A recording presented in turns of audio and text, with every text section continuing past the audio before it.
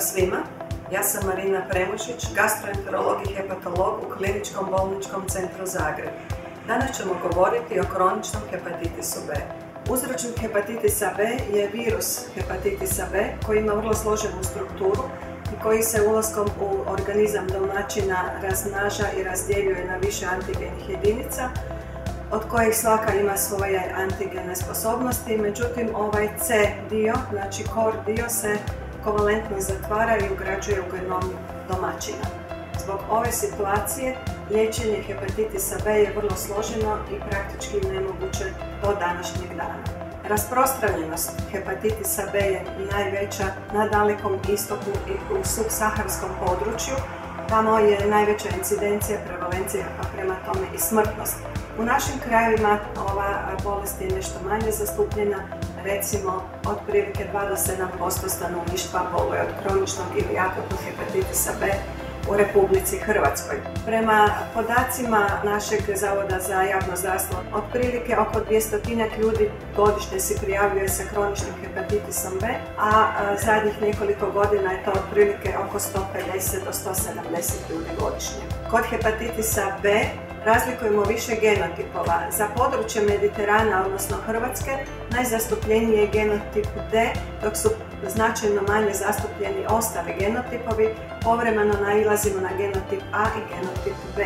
Akutna infekcija hepatitisom B najčešće progredira prema kroničnoj infekciji, vrlo rijetko progredira prema akutnom zatajenju jetre koje najčešće zahtjeva transplantaciju ili progredira prema inaktivnoj bolesti kod ljudi koji su nositelji hepatitis BS antigena. Kod ljudi koji se zaraze u odrasloj dobi, najčešće se bolest spontano izliječi, odnosno prestaju biti nositelji antigenskih struktura i razviju zaštitna antitijela, no međutim ako se infekcija desi u ranoj dobi, u djetinstvu ili kod novorođenčadi, u takvoj situaciji 90% djece ostaje u kroničnoj infekciji hepatitisom B.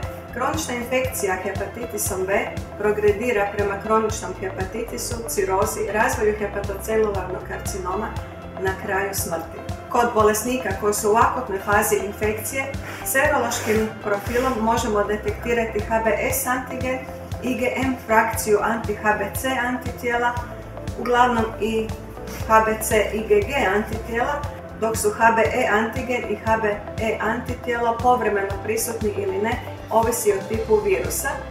Prema PCR metodi u toj fazi svakako možemo detektirati hepatitis B DNA. Kod kronične hepatitis B infekcije imamo prisutnu HBS antigen viremiju koja se potvrđuje i PCR metodom. Imamo povremeno prisutne i anti-HBC antitijela, no međutim nemamo antitijela za HBS antigen niti IgM antitijela za HBC frakciju. Kod bolesnika koji su preboljeli hepatitis B vidimo da su prisutna zaštita antitijela, nemamo antigena i nemamo virusne replikacije, nemamo HBV DNA. Kod ljudi koji su samo procijepljeni imamo pozitivan anti-HBS bez drugih seroloških markera. Što mi u stvari želimo postići liječenjem kroničnog hepatitisa B kad sam u nekoliko navrata rekla da taj entitet u stvari ne možemo u potpunosti izliječiti budući da se dio virusnog genoma ugrađuje u naš vlastiti genom. Ono što možemo u ovom času i što želimo postići je u stvari stanje slično inaktivnoj bolesti, odnosno želimo postići imunološku kontrolu. Što znači da trebamo smanjiti replikaciju virusa, razinu viremije, do nemjerljive, čime se smanjuje stupanj nekroze i oštećenje u jetri, čime se iza toga prevenira progresija u cirozu i naravno prevenira se nastanak hepatocelularnog karcinoma. Kod kroničnog hepatitisa B incidencija hepatocelularnog karcinoma raste prema razini HBV DNA. Tako vidimo da ukoliko su visoke viremije, znači iznad milion, 10 miliona, incidencija hepatocelularnog karcinoma je iznad 10, penje na 12 ili 15%, što je značajno i značajan razlog pomora bolesnika sa kroničnim hepatitisom B.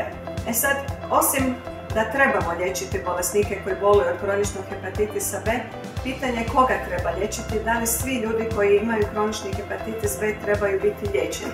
Prema važećim smjernicama Hrvatskog zavoda za zdravstveno osiguranje. Liječenje hepatitisa B provodimo kod ljudi koji imaju visoku viremiju i povišene vrijednosti aminotransferaze u krvi bez obzira da li je fibroza uznapredovala ili ne. Međutim, indikaciju za liječenje kroničnog hepatitisa B imaju i osobe koje imaju uredne laboratorijske nalaze, koji imaju nisku viremiju, ali su stekli fibrozu koja je značajnog stupnja, znači 3 ili 4, ili fibrosken koji je veći od 14 kPa. Danas imamo dostupne dvije strategije liječenja kroničnog hepatitisa B. Jedno je imunomodulatorno liječenje pegiliranim interferonom alfa 2a, a drugo je liječenje analozima nukleotida, odnosno nukleozida. Kod liječenja pegiliranim interferonom cilj je imunološka kontrola i nakon liječenja odnosno cilj je trajan odgovor na liječenje interferonom koji se postiže. Znači imamo i imunomodulatorno i antivirusno djelovanje i ovi bolesnici tijekom vremena ne razvijaju, odnosno ne vraćaju viremiju. Kod liječenja analozima nukleotida, odnosno nukleozida, cilj je virusna supresija za vrijeme liječenja. Virusna supresija traje samo za vrijeme liječenja, kad se liječenje prekida, nivo viremije se vraća prema početnim vrijednostima, odnosno prema stanju organizma, što može biti jednako, niže ili nešto veće. Ova terapija je svakako dugotrajna, a u nekih bolesnika i doživotna. Na raspolaganju u našoj zemlji imamo lamivudin, adefovir, telbivudin, entekavir i tenofovir prema sadašnjem stanju. Analozi nukleotida, odnosno nukleozida su inhibitori polimeraza, čime se održava supresija viremije za vrijeme uzimanja lijeka.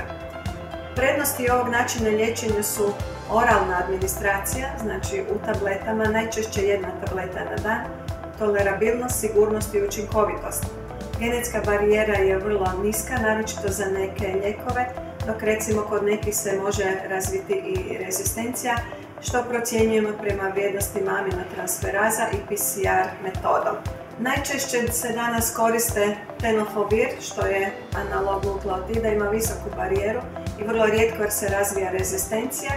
I nešto stariji lijek lamivudin, odnosno Zefix, koji ima izuzetno dobro djelovanje, brzo snižava viremiju, međutim ima nizak prag za rezistenciju, vrlo često se na njega razvija rezistencija, radi čega ga zamjenjujemo sa drugim lijekovima na koje pacijent nije razvio rezistenciju, a koji su dostupni u našem sistemu liječenja. Kod ove bolesti je u stvari cijepljenje najučinkovitiji način sprečavanja HBV infekcije i njezinih posljedica, tako da je od 2007. godine obavezno cijepljenje protiv hepatitisa B u novorođenačkoj dobi, potom i u školskoj dobi prema schemi 0,1-5 mjeseci. Kod bolesnika koji imaju hepatitis B infekciju, a koji zahtijevaju druge vrste liječenja, odnosno koji su imunosuprimirani, imunokompromitirani, kao što su na primjer onkološki bolesnici, potrebno je indicirati terapiju najčešće analozima nukleotida, odnosno nukleozida, kod ljudi koji imaju pozitivan HBS antigen, a terapiju treba započeti dva tjedna prije planiranog liječenja i nastaviti najmanje 12 mjeseci po prekidu ili duže ako je riječ o značajnoj aktivnosti hepatitisa B. Naravno, ukoliko je HBS antigen negativan, terapija se započinje ako imaju mjerljivu viremiju prema istom protokolu. Završno možemo reći da kronični hepatitis B možemo dobro kontrolirati, ali ne u potpunosti izliječiti. Za budućnost očekujemo nove lijekove kojima ćemo moći izliječiti ovu bolest.